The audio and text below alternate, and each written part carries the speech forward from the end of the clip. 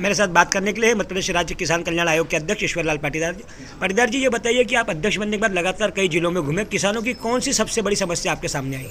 किसानों की मुख्य समस्या घोड़ा रोज की है ये फ़सल खाते भी है और रोनते भी है। तो इसको लेके कोई योजना प्रदेश सरकार बना रहा है? हाँ योजना माननीय मुख्यमंत्री जी से मैंने निवेदन करा पत्र भी दिया दो बार मिला।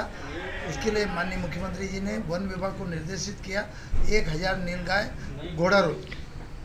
पकड़ करके अभ्यारण्य में पहुँचा देंगे। और इसके अलावा इसको लोक सेवा गारंटी में ले लिया गया है।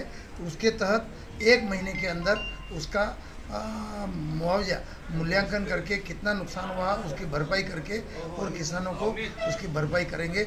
ये राजस्व विभाग करेगा। हमसे बात करने के लिए शुक्रिया।